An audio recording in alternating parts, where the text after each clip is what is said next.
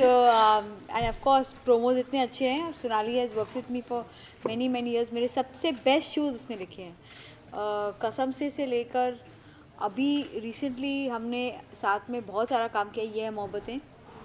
I think uh, मेरी आशिकी तुमसे ही। I mean ऐसे मैं पचास नाम दे कह सकती हूँ सोनाली के shows but as a producer ये उसका पहला कदम है।